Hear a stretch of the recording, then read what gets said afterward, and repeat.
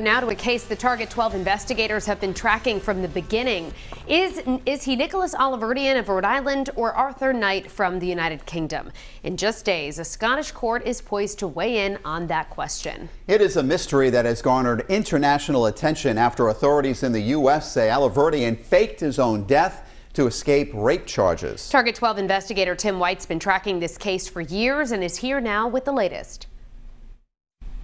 This is a significant update in this wild case. A Scottish court ruling an extradition hearing next week can go forward. I am Arthur since December 2020, the man who claims he was born in Ireland in 1986 has denied being this man, Nicholas Alahverdian of Rhode Island.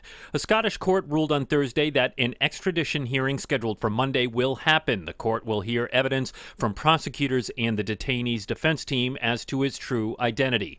The man who identifies himself as Arthur Knight argued Thursday he needs more time because he has new lawyers, according to the BBC, but prosecutors say the detainee has fired six attorneys attorneys so far, and it's time to move on, the courts agreed.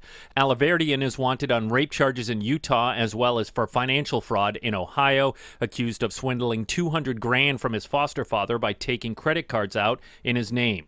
Alahverdian has a checkered past in Rhode Island with multiple arrests, including for domestic violence. It was that arrest in Pawtucket that authorities say they were able to identify him in Scotland using details about the tattoos on his arms.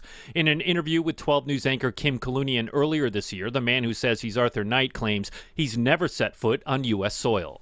Because I have similarities to the person in life and in youth. That doesn't necessarily mean that I am that person.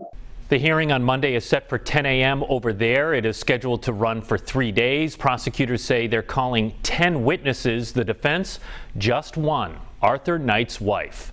With the Target 12 investigators, Tim White, 12 News.